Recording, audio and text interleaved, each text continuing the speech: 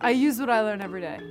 And the theory really is, you know, learn on Monday, implement on Tuesday, describe on, on Wednesday. So you start your week out by going to, over the materials, reading the readings, watching the lectures, really thinking about the content, and then you go to work and you apply it. It really does work that way, you know, and I've, I've seen that benefit of being in the courses right from leadership up till strategy right now, that it is so relevant to the day-to-day work that we are doing. That's a key difference and something very important that sets JWMI apart from traditional universities. That essentially is our homework, if you will.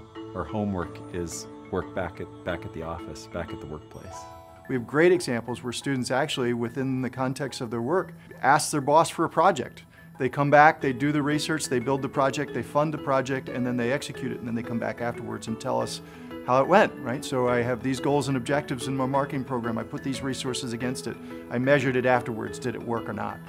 In our managerial economics class, it was, it was a lot of fun to really talk about everything that was happening in the global marketplace today. And in marketing, it was fun to talk about millennials. So everything is very relevant to to what the business will look like today, but also in future generations. We try to move as fast as, as the business cycle moves, which is very, very fast. Even with only being in the program four months, the amount that I've been able to implement and the amount of change that has come from that, and even getting colleagues to kind of buy in, that's really, that's been exciting. It's been the most exciting part, to really take all of this and go in every day and implement it and have it work.